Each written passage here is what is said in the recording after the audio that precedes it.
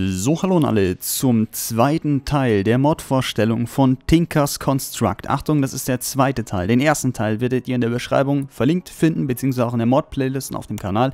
Einfach mal nachschauen und dann, äh, ja, wer jetzt gerade einsteigt, nicht weiß, worum es geht, bitte dort zuerst den ersten Teil schauen. Und jetzt kommt hier der zweite Teil, in dem wir uns um die erweiterten Werkzeuge kümmern und erweiterten Werkzeuge und Waffen, erweiterten Materialien und die Modifizierer, die wir auf die Waffen und Werkzeuge drauf machen können. Das Ganze versuche ich auch wieder kompakt reinzukriegen, werde vielleicht nicht alles erklären können, da das wieder sehr, sehr umfangreich ist und ich eigentlich nur zwei Parts der Modvorstellung machen wollte. Dann, in der letzten Modvorstellung, im ersten Teil haben wir gesehen, wie man uns schon mal Waffen gießt, unter anderem, oder Werkzeugteile gießt. Wir bekommen solche Gussformen heraus mit Hilfe des Ofens hier und wie man einfache Werkzeuge sozusagen zusammen craftet mit dem ähm, normalen, mit der normalen Toolstation. So, dann gehen wir mal ein bisschen genauer in die Waffen oder Werkzeuge rein, welche es denn da alles gibt. Zunächst erstmal bei den Werkzeugen. Wir fangen an mit einer einfachen Spitzhacke. Man sieht dann jetzt immer in diesem Buch, was genau man oder welche Teile man dafür braucht, um diese äh, Spitzhacke herzustellen und äh, welche Eigenschaften diese hat. Also die normale Spitzhacke ist eigentlich klar, Basic Mining Tool, soweit logisch. Ähm, dann hätten wir noch eine Schau Schaufel. Eine Schaufel wird auch aus diesen beiden Teilen hergestellt. Und eine Hatchet ist jetzt praktisch ein neues Werkzeug. Und damit äh, kann man praktisch auch wieder ähm, Holz, Blätter und auch Bäume abbauen und ist im Prinzip so ein einfaches Chopping-Tool, in Anführungszeichen.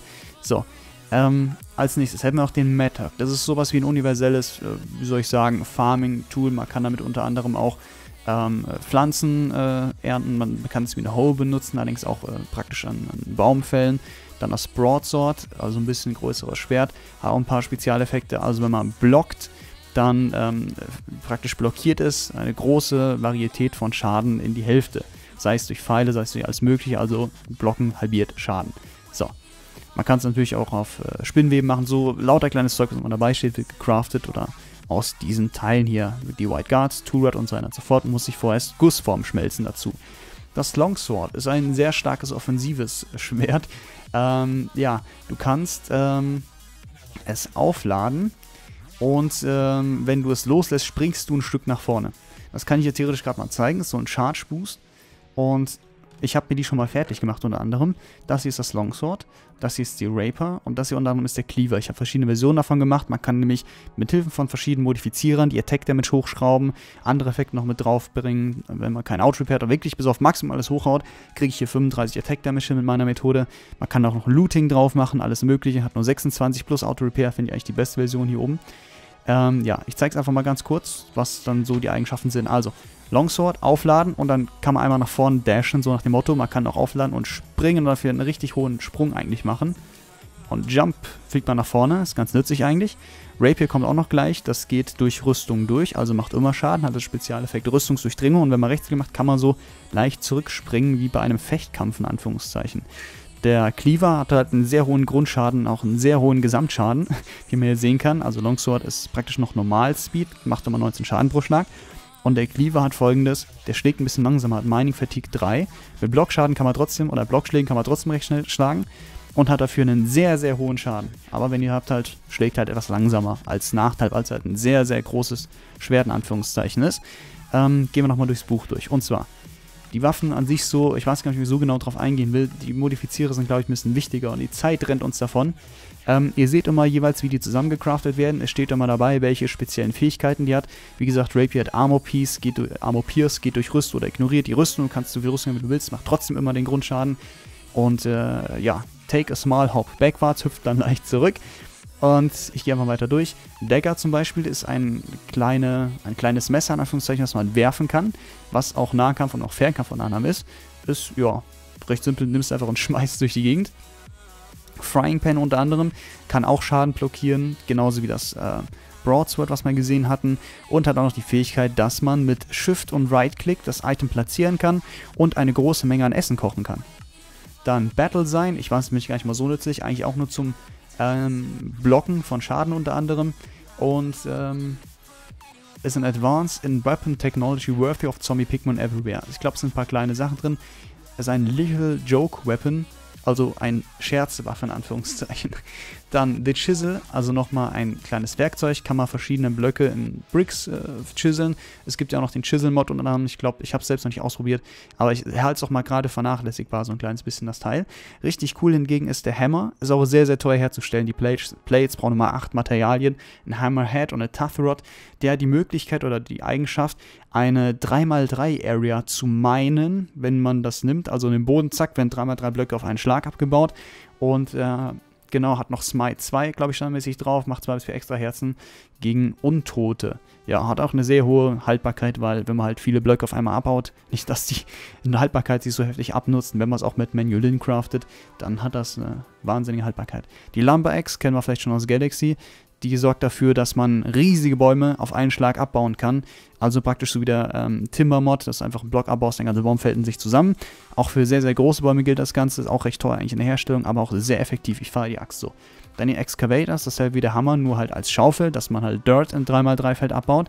Und die äh, Skith, ich weiß nicht, wie es ausgesprochen wird, Scythe, Skith, also eine, ähm, eine Sense sozusagen, auch recht teuer herzustellen, aber ähm, macht Flächenschaden, AOE-Damage in 3x3x3 Feld, also wie wenn du so eine, so eine Sense um dich schwingst.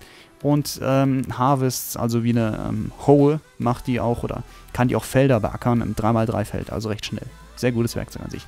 Den Cleaver habe ich gerade schon gezeigt, macht auch beim Block oder wenn man blockt, drückt er wieder den Schaden zur Hälfte runter und äh, hat Beheading 2 drauf. Das heißt, er köpft in der Regel auch Mobs. Das heißt, wenn man damit Wither-Skeletten killt, hat man eine sehr hohe Chance, dass man auch die Köpfe rauskriegt. Wenn noch Looting drauf ist, dann ist das übelst stark, aber auch schwer herzustellen oder teuer herzustellen. Braucht viel Materialien. Und am Schluss, am Schluss, am Schluss noch die ähm, Battle Axe, kann man auch wieder viele Sachen machen. Ähm, man kann Holz damit hacken, allerdings ähnlich wie die Lumber Axe, nur in einem 1x9 hohen Tower. Also die kleinen Bäume kann man mit einem Schlag abbauen, die großen kann man nicht mit abbauen. Macht trotz allem noch Schaden, ist halt unter anderem auch noch ein, eine Waffe, mehr oder weniger. kann man aber auch als Werkzeug nutzen, indem man Holz damit hackt. So, dann den Short Bow, also nochmal einen Bogen. Ähm, Im Prinzip einfach ein normaler Bogen, den du aus verschiedenen Materialien machen kannst und ein Pfeil dazu, die ist, dass die Munition dazu liefert. Mit Blick auf die Uhr sehe ich, muss mich ein bisschen beeilen. Wir gehen mal weiter zu den Materialien und zwar ähm, Materialien haben wir gerade schon gesehen, man kann einfache Sachen aus Stein herstellen oder aus Oakwood und äh, jedes Material hat eine verschiedene, ähm, ja, wie soll ich sagen, Haltbarkeit, eine verschiedene Mining Speed und ein verschiedenes Mining Level, mit welchem man Sachen abbauen kann. Zum Beispiel kann man später dann mit dem Steel, mit der Steel Pickaxe, ähm, das Kobalterz abbauen, währenddessen man es mit einer Diamantspitzhacke nicht abbauen kann, weil eine Stahlspitzhacke ein höheres Mining Level hat. So, ich gehe mal weiter durch. Holz ja noch recht simpel. Dann haben wir Stein, haben wir auch schon gezeigt. Gibt es ab und zu nochmal einen Stone Shard raus, hat jetzt schon eine höhere Mining Speed und ein höheres Mining Level. Mining Level 1 nämlich Eisen. Dann Eisen hat Mining Level 2 Redstone, also es ist nicht irgendwie ganz so logisch. aufgebaut. Man kann nämlich auch hier mit einer, mit, mit einer Stein ähm, auch Redstone abbauen und oh, ein bisschen durcheinander. Bei den ganzen Leveln ist es schwer durchzusteigen, jedenfalls wir gucken mal ein bisschen weiter durch, ähm, wie Modifier gehandelt werden und auch die Haltbarkeit. Es gibt Flint, Flintwaffen, es gibt Cactuswaffen, man kann auch Kaktus sich praktisch als Waffe benutzen. Man kann Knochen als Waffen nehmen, man kann Obsidian nehmen, hat hier Mining Speed 7 zum Beispiel, Mining Level 3, also Obsidian schon mal wieder ein bisschen mehr auf einen Schlag. Baumi hat übrigens auch noch äh, eine höhere Mining Speed wieder, allerdings nur ein kleineres Mining Level. Denn Knochen sind halt nicht so stark, in Anführungszeichen. Es ist schon versucht, so ein bisschen balanciert zu werden. Dann Alomite ähm, ist wieder ein bisschen höher, hat das Level Mining Level von Kobalt, Mining Speed von 8, wieder ein bisschen höher. Netherrack ist wieder ein bisschen weniger. Blue Slime, das ist von diesen Schleiminseln, die ich schon mal erwähnt habe. Und Green Slime auch nochmal. Der Schleim hat halt eine wahnsinnige Haltbarkeit, 1200. Ähm, weil der halt sich ja nicht so schnell abnutzt. So, da kann man hier sich Slime Crystals erstellen mit folgendem Rezept unter anderem. Dann kann man aus Papier ebenfalls noch Waffen machen, beziehungsweise äh, ja, Waffen und Werkzeuge. Und ich benutze das Papier immer ähm, auch um die ganz, ganz schweren Waffen herzustellen, weil das ein Zusatzfeature hat, nämlich dass es einen zusätzlichen Modi Modifier gibt. Das ist writable, also beschreibbar. Wenn man also in einer Waffe aus zwei Teilen, Bestandteilen Papier zusammenbaut, bekommt die fertige Waffe zwei extra Slots für Modifizierung. Und äh, das finde ich sehr, sehr nützlich. Mit bestimmten Kombinationen kann man sich da tolle Waffen zusammenbauen. Dann Kobalt ist eigentlich in der Mining Speed das schnellste, nämlich 11. Und deswegen benutze ich auch für meine Werkzeuge später als Spitz, also als Kopf zum Beispiel von der Spitzhacke immer Kobalt, weil damit eben am schnellsten gemeint wird. So, Ardite zum Beispiel hat noch einen anderen Effekt, hat Material Trade Stonebound drauf, das heißt, es nutzt sich nicht so schnell ab. ähm, oder besteht eine Chance, dass sich das Werkzeug nicht abnutzt, wenn man es einmal benutzt. Und Reinforced heißt ebenfalls auch nochmal dasselbe, hat was mit, auch mit Abnutzung zu tun. Boah, ich muss nicht ein. Äh, Manulin ist das stärkste Material an sich, auch am schwersten zu bekommen. Man schmilzt es halt aus ähm, Kobalt und Alumni äh, und, und, und Ardite zusammen, so rum.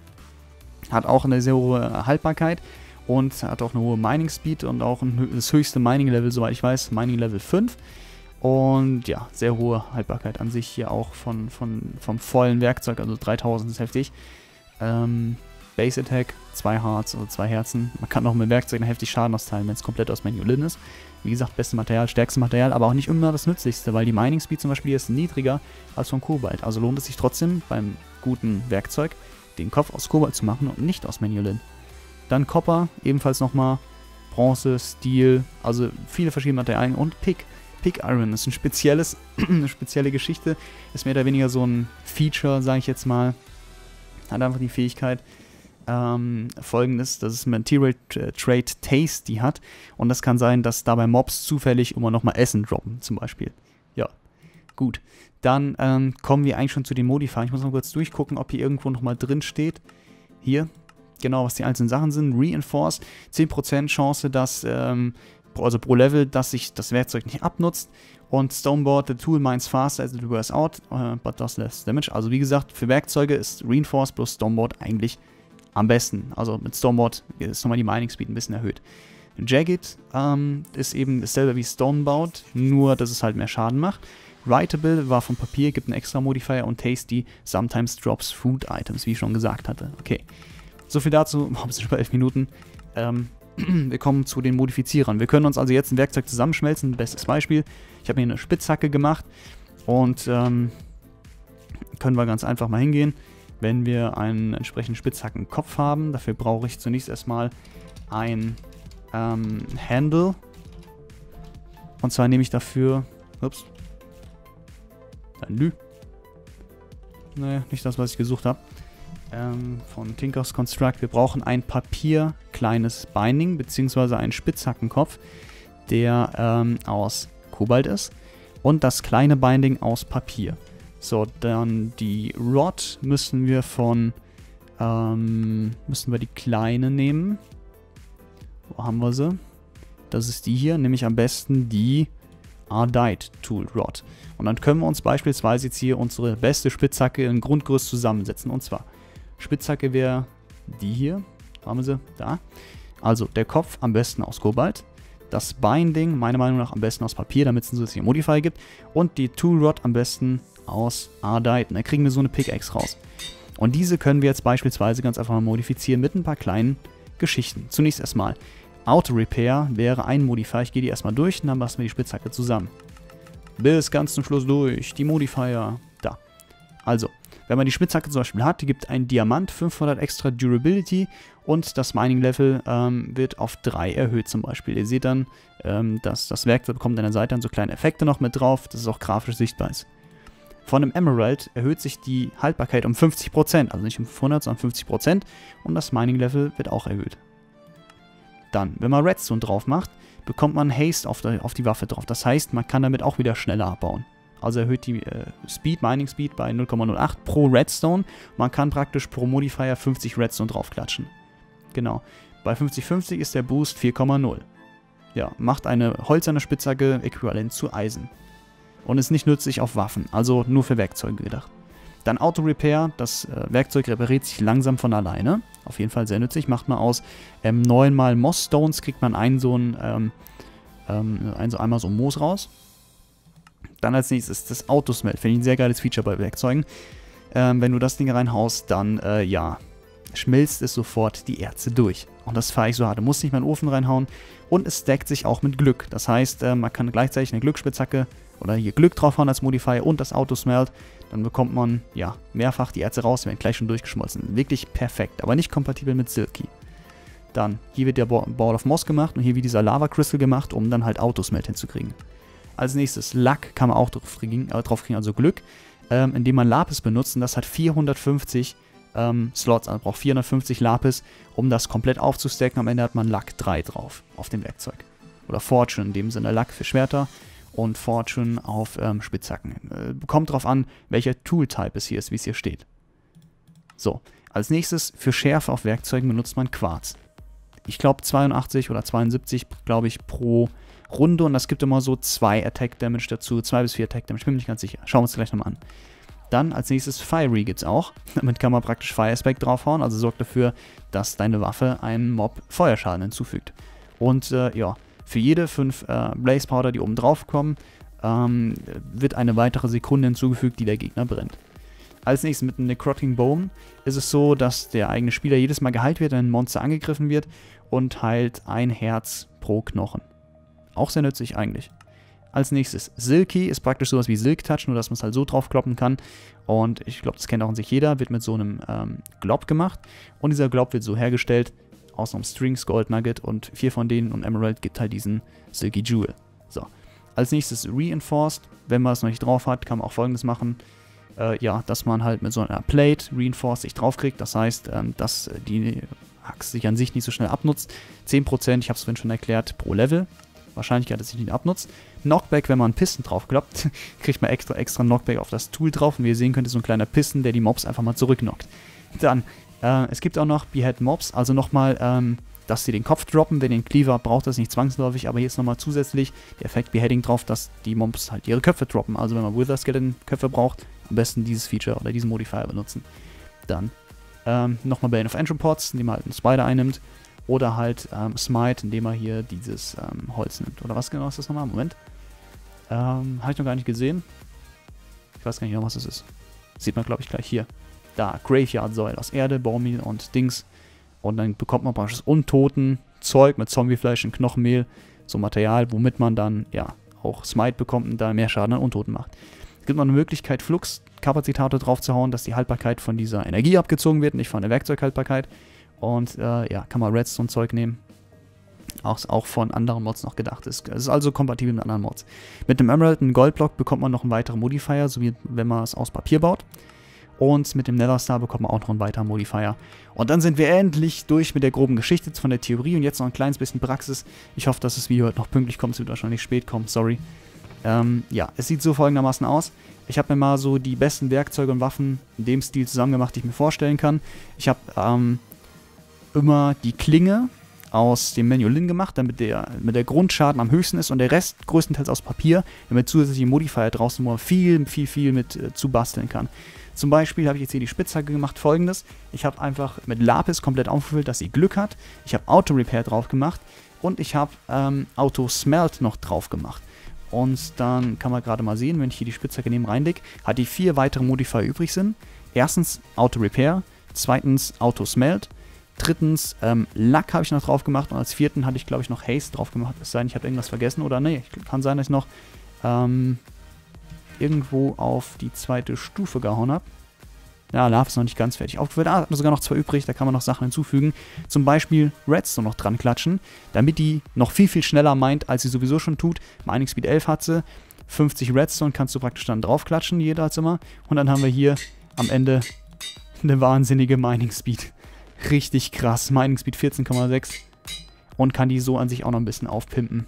Ja, man kann glaube ich noch ein bisschen reinhauen, weil nur 45 übrig sind. Ich habe jetzt halt hier einen Redstone Block und da gehen immer 8 auf einen Schlag, ne 9 auf einen Schlag drauf.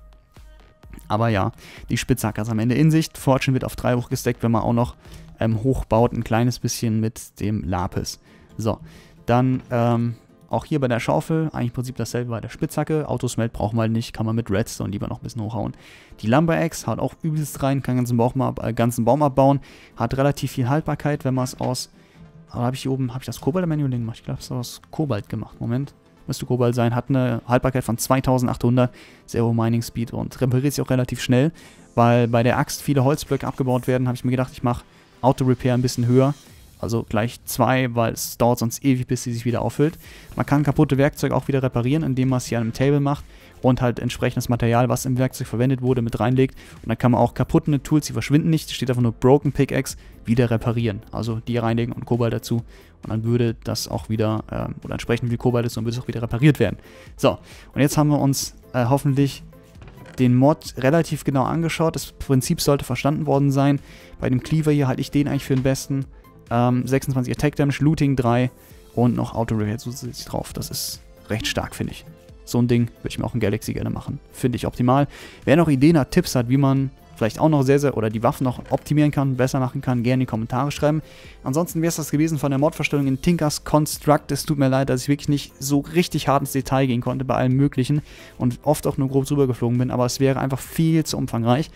Jedenfalls ja, das sollte der Überblick sein von Tinkers Construct. Ich hoffe, der Mod gefällt euch. Ich fahre den ziemlich hart. Und dann, ja, würde ich sagen, sehen wir uns in der nächsten Mod-Vorstellung und bedanke mich fürs Zuschauen. Was haltet ihr davon? Und ja, tschüss, bis zum nächsten Mal.